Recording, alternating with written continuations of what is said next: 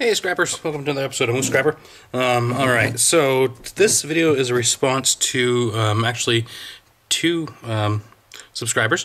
Um, the first person wanted to know how to remove IC chips or how I remove IC chips from circuit boards. Uh, IC chips would be all of these, you know, black chips like this. Sometimes they contain gold, uh, and you can sell them to places like boardsort.com or on eBay, um, and you get a, a rate per pound for them. Um, and another uh, subscriber had asked me to do a video on what you look for on circuit boards, uh, things to take to take off, um, anything that might contain precious metals, etc. So let's start off with the removal of IC chips. There's you know a few different types, so there's going to be a few different ways to do this. Um, you have the types that have pins on all four sides. Now chisel comes in very handy. So with these, um, all I do is I'll take the chisel and I'll scratch down all those pins on each side, just pushing down,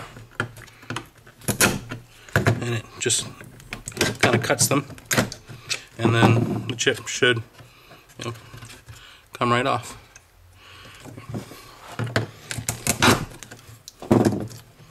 There you go. So there's one IC chip right there.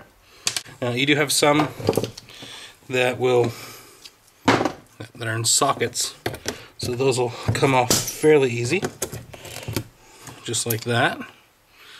All right. So we have some of these little guys here. Um, what I'll do is I'll take a pair of channel locks. I have this Craftsman Robo Grip thing that works pretty well. Um, and I just go right on top of it, push down to the board, and twist sideways, and it pops right off. And I'm not prying or, or, pulling up or anything. I'm keeping it fairly, um, keep this fairly flat, and just turn, and it pops right off. Alright, other things that you're going to want to look for on circuit boards. Um, granted, I'm by no means an expert. I'm not going to be able to tell you everything uh, that you should be able to, uh, to find that's worth money. Um, but you do have, you know, the IC chips. You want to look in connectors like this for any gold plating. You have uh, the tantalum capacitors, which are these little yellow boxes. You have uh, let's see, these little things here have uh, gold brazed edges. You have uh, monolithic ceramic capacitors, which contain platinum, palladium, uh, silver in the solder. And let's see.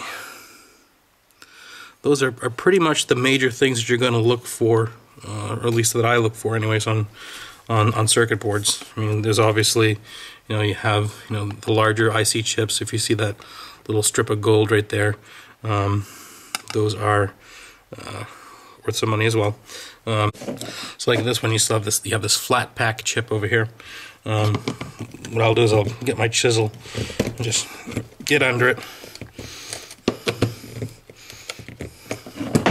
And sometimes it helps to uh, try and bend the board. That way you break some of the connections underneath it. Makes it easier to pull it off. Alright.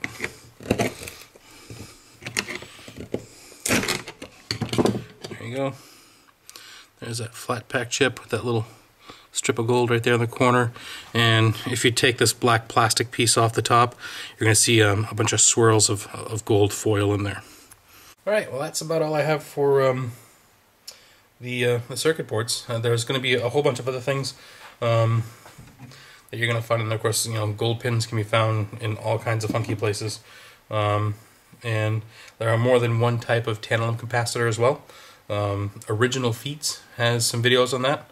Um, those you can get you know, easily 100 bucks a pound for the capacitors, which is pretty good. I mean, probably the best money by weight you're going to get for the components, um, even better than you know, gold plated stuff. Um, yeah, that's about it. So, thanks for watching. See you on the next one. Stop! Don't go anywhere! Comment. Say something. I want to hear from you. I want to know if you think I'm doing something great, I'm doing something bad, what I can do better. All comments are great. Make a suggestion what you want me to scrap next. And see you on the next video.